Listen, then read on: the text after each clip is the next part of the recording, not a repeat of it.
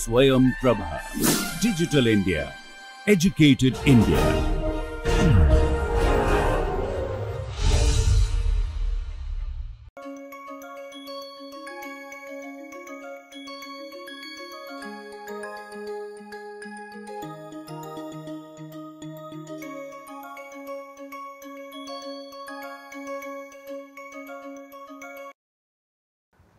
Welcome back. We saw in the last lecture that whenever there are two natural numbers a and b, then we have the GCD of a and b.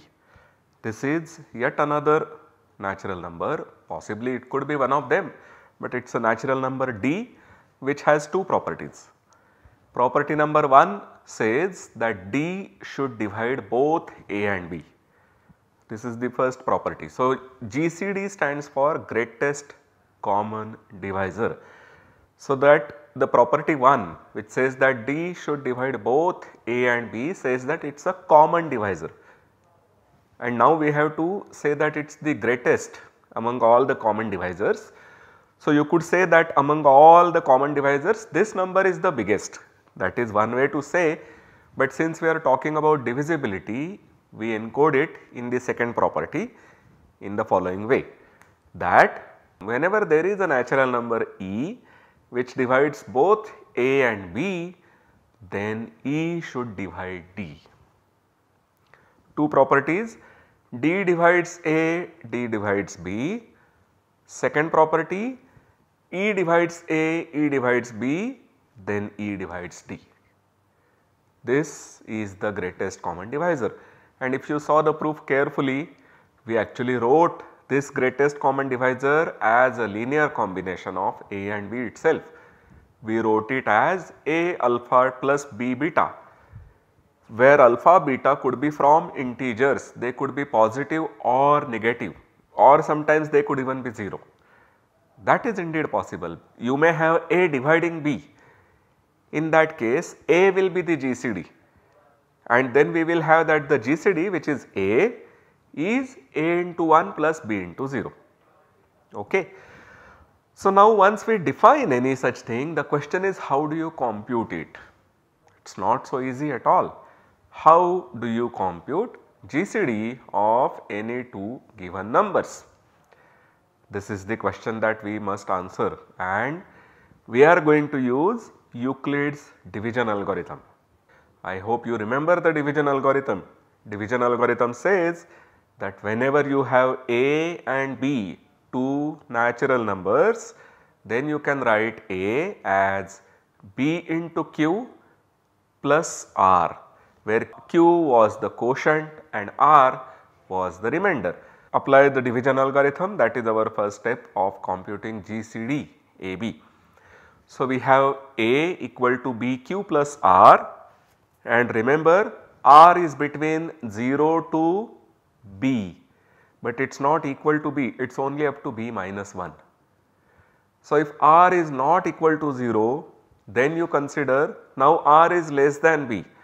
So, you can divide B by R, you can call B as the new A1 and R will be the new B1 and you will then have A1 equal to B1 Q1 plus R1 where R1 will be further smaller and we proceed this way. So, that step number 2 if R is bigger than 0 then apply step 1 to B comma R. Ultimately R will be 0 and we are then done. Okay. So, what we have to do is the following thing we start with A and B assume that A is bigger than or equal to B and apply the division algorithm for the pair A and B to get A as BQ plus R alright. So, R now starts from 0, R can be 0, R can be 1, R can be 2 all the way up to R can be B minus 1. If it is not equal to 0, if R is 0 then we have got our GCD which is B because B divides A Okay, so, if R is not 0 then we have not yet got our GCD. Therefore, we apply the division algorithm to new A1 which is B and new B1 which is R Then we get a new q1, new r1 where this new r1 will be again from 0 all the way up to b1 minus 1 but b1 was our r. So, it will go up to r minus 1 and since you had earlier b, r was a natural number which was strictly less than b. Now you have, you have a new natural number r1 which is strictly less than r and so on at each step you are coming down at least by 1 and therefore this process will eventually end in 0. So, eventually r is going to be 0 and then we are done. Okay. So, let us apply this and try to compute a GCD. So, if you remember we had applied our division algorithm to the pair 20, 20 and 25. So, we want to compute the GCD of these two numbers. So, our A is 20, 20, B is 25. If you remember the calculation that we have done, we noticed that 2020 is 25 into 80 plus 20. So, here the R is 20 it is less than B but it is not 0. So, this our new A1 is 25, new B1 is 20. Again apply division algorithm to get 25 to be 20 into 1 plus 5. Once again our new R1 remember A1 was 25, B1 is 20, Q1 is 1 and R1 is 5. R1 is still not 0. So, we let A2 to be 20, B2 to be 5 but then we get 20 equal to 5 into 4 plus 0. So, we are done 5 is our GCD. So, the GCD of 2020 comma 25 is 5. You may say that you know you could tell this GCD just by looking at the numbers which is true. Many of you would be able to tell this GCD just by looking at these two numbers. In fact, if some of you are not able to tell it at the first step, certainly by the time you reach the second step where you have 20 and 25, I am sure that almost everybody of you would tell the GCD to be 5. But still a process is important and this process can be applied to any pair of natural numbers not just to some simple numbers like 20 20 25 or 25 20. You can apply to any such thing. But wait there is one more thing remaining. We now want to write 5 as a linear combination of these two numbers 20 20 and 25. So, how do you want to write this? You can use division algorithm to go back we have been able to write 5 as a linear combination of 25 and 20. We know that the GCD of 2020 and 25 is 5, but now we want to write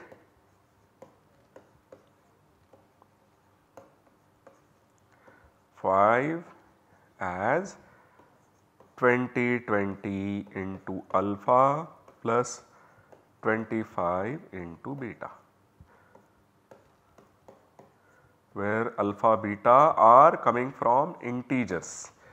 Of course, they cannot be natural numbers because if you have any non-zero multiple of 2020 from natural numbers you would be at least 2020 or beyond and then you cannot write 5 or if you put 0 for 2020 and any non-zero multiple of 25 again coming from natural numbers you will go beyond 25. So, it will not be possible to write the GCD as a linear combination of natural numbers AB again over natural numbers. We have to go outside the set of natural numbers, but that is okay. So, here we want to write this and if you remember we had obtained 5 as 25 minus 20 and how did we get 20?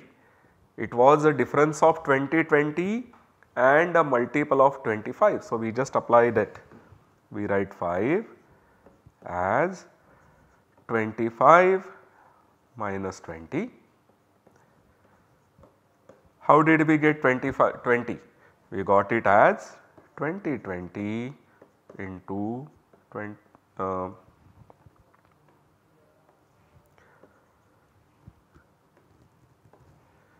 minus 25 into 80 that is it. So, we ultimately get this as 20 20 into minus 1 plus 25 into 79 because here you have 80 comes with 2 negative signs. So, that gives you 80 and then of course you have to add 1 you are not going to subtract 1. So, it will be 81.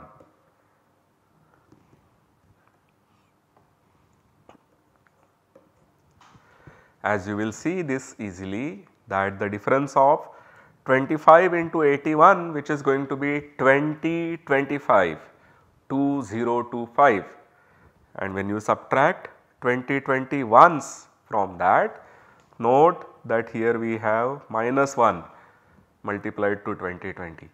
So, that will indeed give you 5. So, we have computed the GCD of 2020 and 25 and then we also wrote it as a linear combination of these two numbers over integers. Okay, let us do one more problem to have a better practice. What is the GCD of 107 and 17? So, we are going to apply division algorithm once again. We write 107 if you remember your multiplication tables 17 into 6 is 102 and the remainder is 5.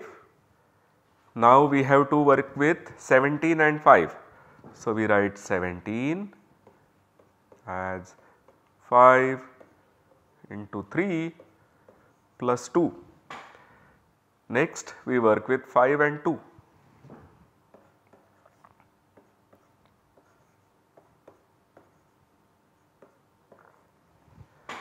we have still not got our remainder to be 0. So, we need to continue, but now this is very easy. So, the GCD of 107 and 17 is 1 and you can just go back this way and write 1 as a linear combination of 107 and 17 but you should know that there are more than one ways to do that. I am going to tell you one way to write 1 as a linear combination of 107 and 17 not by tracing the steps back, but by just observing what the products are. Okay?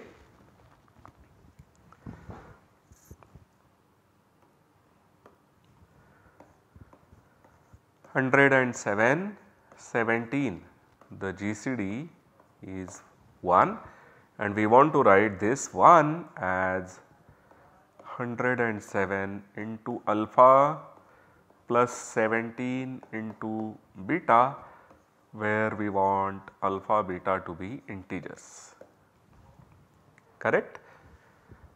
When we multiplied 17 by 6 and subtracted from 107 we were left with 5 right 17 into 6 is 102 107 minus 102 gives you 5.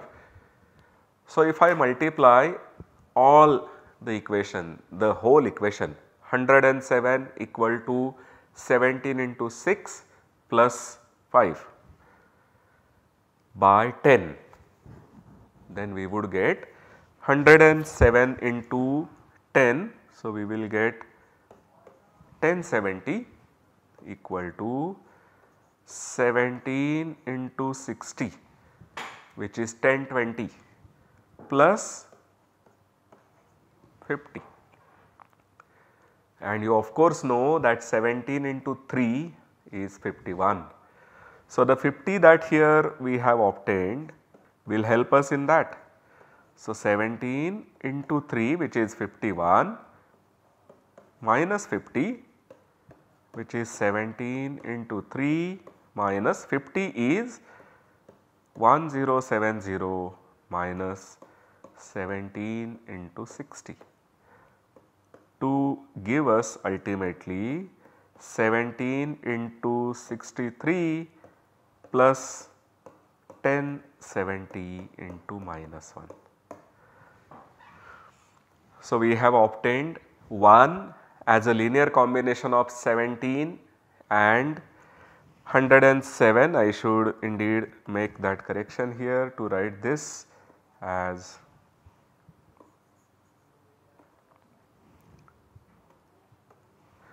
Hundred and seven into minus ten that will do. Okay. So, this is one way by which we can write the GCD. What we have done here in a nutshell is using the theory of congruences. So, we observed something which is that when you divide 107 by 17 you take all multiples of 17 away from it as long as you are left with a number which is less than 17 then you were left with 5. So, if we did this for 107 into 10 what you will be left with is going to be 5 into 10 50 and then you can of course remove some more multiples of 17 but that is okay. We have observed that if you remove multiples of 17 from 107 you are left with 5. So, there is a way to remove multiples of 17 from 107 into 10 which is 1070 and be left with 50 and now 50 is very close to a multiple of 17 in fact the difference is just 1. This is another way to write GCD as a linear combination of the two numbers a and b with integer coefficients. Okay. So, what did we do?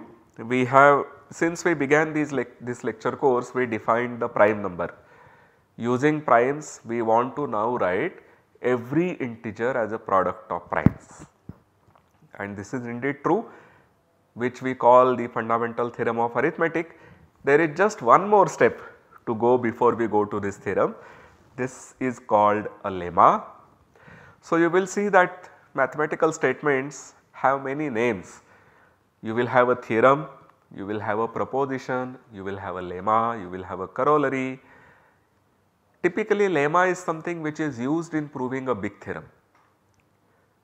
Okay, so a theorem should really be a statement which is a grand statement which is an important statement and lemma should be the one which is actually a step of use proving the theorem.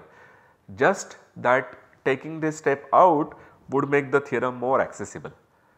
Okay? So, this is the statement that if you have a prime p which divides product of two natural numbers, you take any two natural numbers m and n and assume that p divides the product mn, then P should divide M or P should divide N.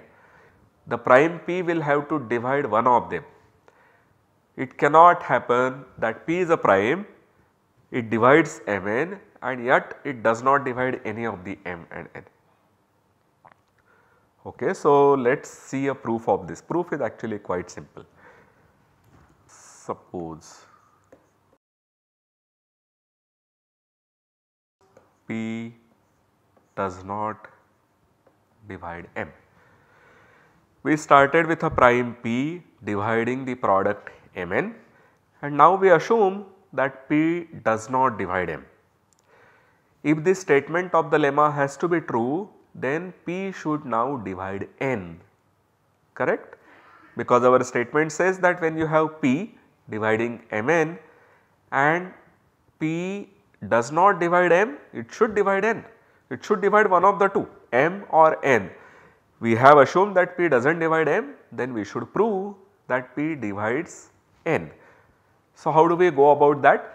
We use the notion of GCD. the GCD of P and M should be 1 since P is a prime it has exactly two factors in n 1 and p. Now if we want to compute the GCD of p and m it should first of all be a divisor of both p and m. The factors of p and are 1 and p. So the GCD has to be among these two. Can it be p? GCD cannot be p because p does not divide m. GCD has to divide both p and m. So GCD this is the symbol which we mathematicians use to say that the earlier statement implies the next statement.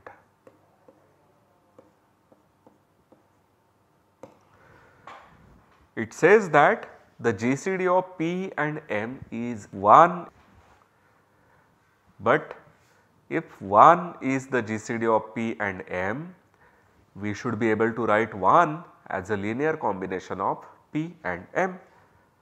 So, then 1 is P alpha plus M beta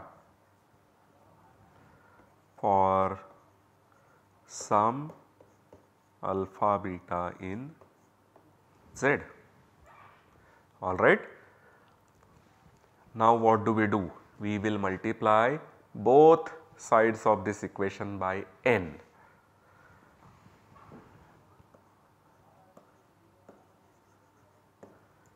n equal to p n alpha plus m n beta.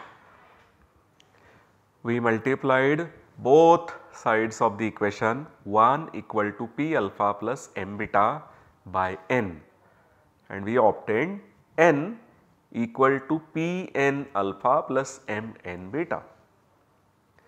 Now p divides the right hand side because P divides Pn alpha and P divides Mn beta, P divides Mn. So, it should divide Mn beta and therefore, P divides N. Since P divides the RHS which stands for the right hand side of the equation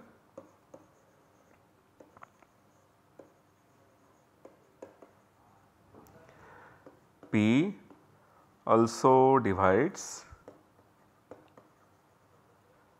the LHS. Hence, P divides N. Mind you that we have not used the fundamental theorem of arithmetic here. What we have done is the following. We had n equal to Pn alpha plus Mn beta which can be written as p into some natural number and therefore we conclude that n has to be a multiple of p right.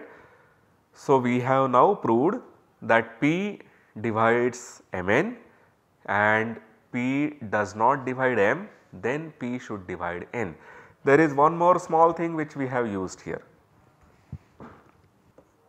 Note that we have used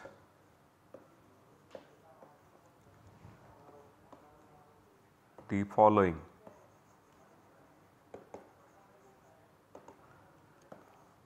If a comma b are natural numbers and a equal to bc for some c in integers then B divides A. our definition of division was that this C has to be among the natural numbers. But if you see the previous proof carefully, we had alpha and beta which were coming from integers. There was no guarantee that those alpha beta are positive. In fact, if you have the GCD to be 1 and you have these numbers which are m, n and p which are bigger than 1 then one of the alpha beta has to be negative otherwise you do not get 1 as a linear combination of p and m. Even then we would then have n as a product of prime into a natural number. So, how do we do it? We use this statement. If you have a b both are natural numbers but a is b into c for some integer c then b divides a. So, this c has to be a natural number and that is very easy to see because we have a trichotomy. Remember whenever we have any two na natural numbers we have the trichotomy that a is b or a is less, less than b or a is bigger than b and this trichotomy holds actually for the whole set of integers. So, we use this trichotomy for the pair 0 and c. So, now c can be 0 if C is 0 then you have that A itself is 0 which is a contradiction because 0 is not an element in N right. So, C cannot be 0. Can C be negative? Can C be less than 0? You have B which is positive being a natural number and if you multiply to that by a negative number the product has to be negative which will mean that A cannot be natural. In fact, A is a negative of a natural number. So, we conclude that the third case, third possibility of the trichotomy must hold which is that C has to be bigger than 0 and therefore C has to be a natural number. Thus, we have that B divides A. Alright, so we will stop for the moment here and in the next lecture we will really begin with the proof of the fundamental theorem of arithmetic. See you then.